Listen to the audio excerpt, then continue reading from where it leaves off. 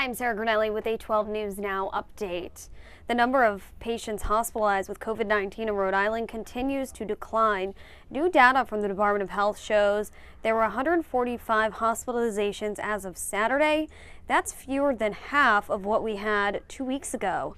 Today, the health department reported 479 new positive cases since Friday and five additional deaths. With that, more than 3,400 Rhode Islanders have now died after contracting COVID 19. For WPRI.com, I'm Sarah Guernelli.